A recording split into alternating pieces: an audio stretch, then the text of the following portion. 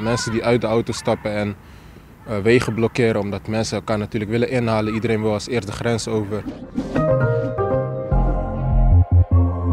Zo ben je profvoetballer in Oekraïne en zo sta je weer te voetballen op het pleintje bij je oude club Sparta. Dat is in het kort het verhaal van de Rotterdammer Lassana Faye. In januari maakte hij de overstap naar de Oekraïense voetbalclub Roek Lviv, waar hij vorige week na het uitbreken van de oorlog hals over kop moest vertrekken. Ja, je wordt wakker gebeld door je teammanager en die zegt van uh, het is tijd om het plan te volgen die we hadden mocht, uh, mocht de oorlog uitbreken. Dus dan sta je in schrik op, uh, maak je je andere teamgenoten wakker, bereid je je koffer voor en dan vertrek je naar Polen toe.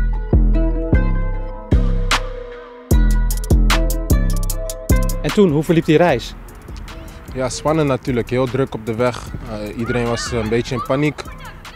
Ja, wij gingen één kant op, de tanks gingen de andere kant op. Dus dan kijk je wel naar elkaar en uh, dan weet je dat het serieus is en dat je op tijd weg bent gelukkig.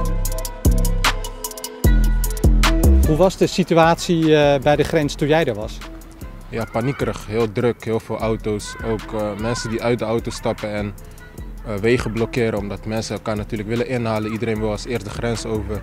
Dus het was een beetje paniekerig en, en, druk allemaal. En daardoor duurt het 11 uur voordat Faye de grens tussen Oekraïne en Polen kan passeren. Uiteindelijk lukt het hem om via Krakau en Frankfurt Amsterdam te bereiken, waarna in het Rotterdamse Spangen een emotioneel weerzien volgt met zijn familie. Die uh, omarmen je natuurlijk direct en uh, zijn ook blij en opgelucht dat je terug bent. Ja, emotioneel kan ik me ook voorstellen toen ja, ze je zeker weer zagen. Weten, zeker weten. Ja, moeder in tranen.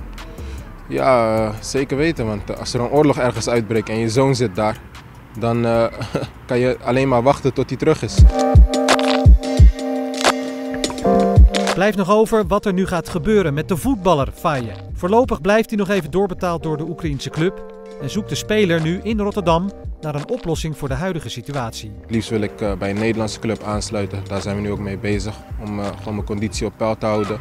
En ook alvast vooruit te denken richting volgend seizoen. En mocht FIFA het mogelijk maken, wellicht direct aansluiten. En bestaat er nog de kans dat jij terug gaat keren naar je club in Oekraïne? Ja, zeker weten. Als de, als de oorlog natuurlijk uh, klaar is en uh, het land is hersteld, dan keer ik het liefst terug. Want ik heb het enorm daar naar mijn zin gehad.